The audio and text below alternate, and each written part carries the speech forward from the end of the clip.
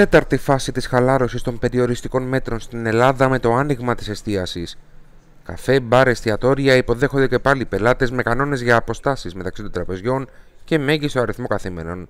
Υποχρεωτική είναι η χρήση μάσκας για το προσωπικό και σύσταση για τους πελάτες. Παρά την άρση των μέτρων, κάποιες επιχειρήσεις εστίασης θα παραμείνουν κλειστές γιατί δεν διαθέτουν εξωτερικό ή ημιπέθριο χώρο. Το πλήρες άνοιγμα του κλάδου προσδιορίζεται μέχρι τις 15 Ιουνίου. Τα επιδημιολογικά στοιχεία στην Ελλάδα εξακολουθούν να είναι ιδιαίτερα θετικά. Τις τελευταίες 24 ώρες κατεγράφησαν μόλις δύο νέα κρούσματα και κανένας θάνατος. Σκεφτούμε όμως ότι θα πρέπει να επιλέξουμε το πού θα πάμε για φαγητό.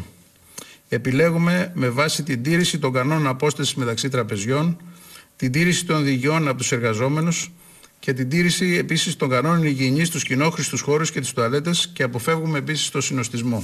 Απελευθερώνονται και οι μετακινήσεις προς την ισιωτική Ελλάδα. Κάθε πλοίο θα ταξιδεύει με πληρότητα στο 50%. Πριν την επιβίβαση θα γίνονται θερμομετρήσεις και οι επιβάτες θα συμπληρώνουν ειδικό ερωτηματολόγιο. Υποχρεωτική είναι η τήρηση απόστασης 1,5 μέτρου σε όλους τους χώρους κίνησης μέσα στο πλοίο. Οι οριστικές αποφάσεις για την επαναλειτουργία των δημοτικών σχολείων θα ανακοινωθούν τη Δευτέρα. Όλα πάντως δείχνουν ότι οδεύουμε προς άνοιγμα.